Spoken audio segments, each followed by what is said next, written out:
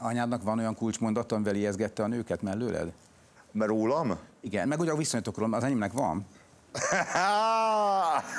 El, ami, gondolkodhatsz addig, én elmondom. Igen, igen. Azért mindenkinek, aki új társ volt és megjelent mellettem, mélyen a szemében nézett, mikor először és azt mondta, hogy anya csak egy van. Hogyha az illető nem értette meg a célzásokat, akkor közölte, hogy egy anyát nem lehet leváltani. Egy anyát nem lehet leváltani, Tehát, igen, hogy ez igen, van.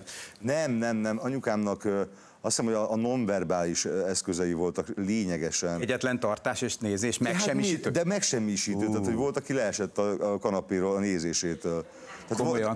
Volt, volt, az egyik barát, de most ez nem hülyeskedek, tehát 17 éves voltam, én emlék, most nem akarom nevesíteni, édesem, Ne- ne- gyönyörű szép lány, Oké. és ő egyébként is hajlamos volt arra, hogy egy szerény lány volt, először volt nálunk, és a szélére ült a kanapénak, és az anyukám így ránézett, és attól az egésztől, tehát ez fizikailag érintette,